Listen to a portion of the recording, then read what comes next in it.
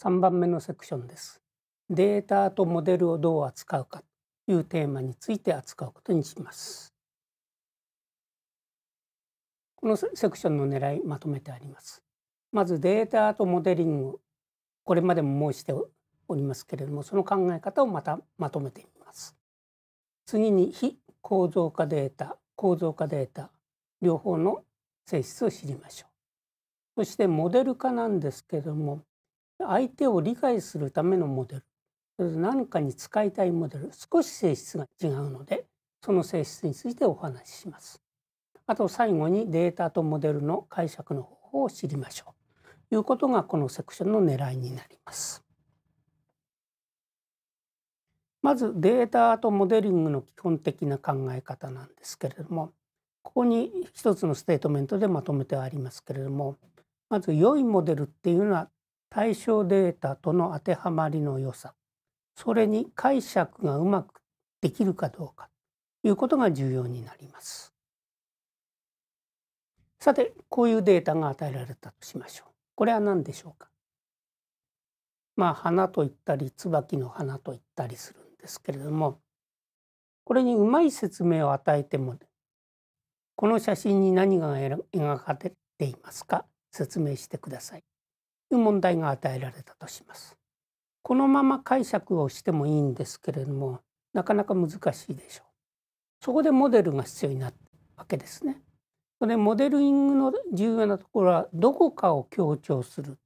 というところとどこかを隠すということが重要になります。で例えばこんな感じですねこれがモデルになります。これは植物図鑑で椿の絵が描いてあるところですけどもこちらの方が元のデータよりもよっぽど人間にとって分かりやすいわけですね。例えばこれ貝として椿の花花びらはこんな格好になってます。葉脈はこんな風に見えます。こんなところで対象データをうまくモデルにすると当てはまりがよくって解釈がしやすいものになります。こういったものを人工知能でも作っていきたいわけですね。さてそのためのデータなんですけれども構造化データと非構造化データというふうに分けることができます。これもまた時代とともにいろいろ考え方が変わってくるんですけれどもまず構造化データっていうとこんなもんですね。一つはテーブル例によって Excel の表を持ってきましたけれどもあとはネットワークこれ人と人とのつながりとか SNS でのデータの関係とかそんなものですね。あと3つ目にの構造化データとして時系列。時間とともに変化するデータ。なんていうのが挙げられます。一方非構造化データってのはこんなことが多いんですけどまず典型的なのは言語情報。次に音声の情報っていうの。もしくは音響の情報。これもあの非構造化データですね。あんまりうまく扱いません。3番目がウェブの情報なんですけどもこれウェブをあの指で触ってるような絵がちょっと書いてありますけれどもこんなのも非構造化データというふうに言われています。最後が先ほどの牛の絵が出てきましたけどもウェブだとかじゃない画像だとか動画とかそういったものは典型的な非構造化データになります。ただ昔はこの構造化データっていうのはこちらのテーブルになってるものだけだったんですけれどもこれは普通のデータベースで扱える。他のものは全然扱えなかった。のは昔の状況ですけど今はこういったものネットワークとか時系列といったものも構造化データというふうに扱うことになります。さて、えー、とこれで数理モデルの種類と使われ方。いうことをちょっとまとめてみました。まずデータがあった時、えー、観測することによって対象システムの構造を分かるようにしたい。そしてモデルがあるとそこで知りたい構造は何かということが問題になります。データから推測する知りたい構造から予測するものを生成するということで観測値と、えモデルとの比較をしてモデルを順番に良くするといったことをやっていくわけです。そこでこのモデルの構造なんですけれどもえーと、今使われているモデルってのはちょっと荒っぽくですけれども6つに分けてみました。一つは全くランダムなものこれ予測ができないような感じなんですけどですけれども金融工学やなんかでやられてる方法だとこれを確率微分方程式という格好に持っていってランダムネスを予測するということを考える。で金融に関係することで例えばあの景気の予測なんてのを考えると今のやり方だと実はですね凝ったモデルを作るよりも変化がないよって言った方がよく当たるということに知られています。これ人間が一番やりたいところなんですけれども来年は今年と同じであるということであのいろんなことを意思決定したりするこれが、えーと、モデルの構造が一定であるというような感じの関係ですね。次に我々が割にやりやすいのがこの線形の関係、えーと、摂氏と可視の温度の関係なんての線形になってるわけですけどこれは割合に人間にとって分かりやすいものになります。ですけれども実際に起こる自然現象指数的に変化する exponential に変化するということがいろいろ出てきます。例えば COVID-19 コロナの患者の数の変化なんていうの最初のうちはこれに乗ります。ということで全てを指数関数で考えるというのがえっ、ー、とまあ、えー、微分方程式系のモデルっていうのは全部こういったことになります。あと二次関数っていうのはちょっとこれ不思議かと思うんですけれども実はあのよく使われている最適化の手法ニュートン法なんていうのは典型的なものなんですけれどもこのニュートン法っていうやり方は世の中全てが二次関数であると思って、えー、と計算するんですね。これ二次関数の場合はニュートン法だと1回だけで答えが出ます。ところが世の中は実際には二次関数でないんでこれを何回も繰り返さなきゃいけないということですね。最後の正規分布の話これ統計かとは思うんですけれども実は今のあのニューラルネットやなんか複雑なものを考える時は相手を正規分布だと思って考えることが多い。そうすると実はこの正規分布っていうのはいろいろな数学的にいい性質があるんでいろんなことに使えるということになります。それでこれを全部合わせてあのどういったモデルを作るか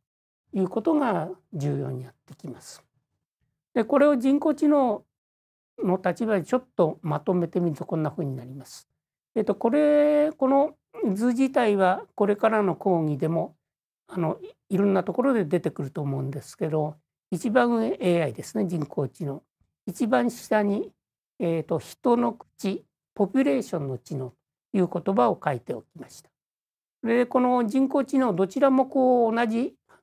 読み方をするんでマスコミなんかでも上の意味で下の言葉を使ってる例が結構あるんですが要はあのたくさん集まれば知能が出てくるよっていうのがポピュレーションインテリジェンス下の意味の人工知能の意味です。そして機械学習と進化計算という言葉をこちらで入れてますけれどもこの意味はですね機械学習というのはそれぞれの個体が学習すること進化計算というのはこれがグループとしてもしくは一つの種として学習することこれを進化計算ということで機械学習と進化計算っていうのは、えーと、人工知能の世界では分けて考えることが多いです。そしてこの機械学習の中にも先生がいる場合先生がいない場合あとはご褒美だけが与えられる場合ということで教師や学習教師なし学習教科学習なんて分け方をします。これについてはこれから後の講義でいろいろ詳しい話が出てくるはずです。はい、それでデータとモデルをどう扱うかという話。これは江崎さんという方の本から取ってきたものですけれどもデータがどのような原理仕組みで生成されるかを知るためのモデル。これが理解思考モデルと言います。でまずあのよくあるのが与えられた数理的な構造。これを使って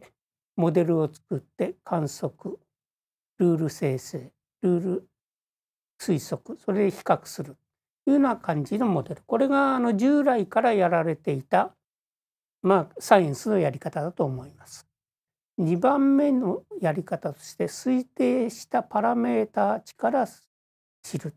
ということでパラメータの値を知りたいというのはモデルの目的になります。同じように観測値からデータを得て、えーと、ルールを生成ルールを推測して比較するんですけどこの時にパラメータを決めるということをやります。例えば、えー、コロナの例でいくと感染率って実はどうなの？どのぐらいの死亡率がある？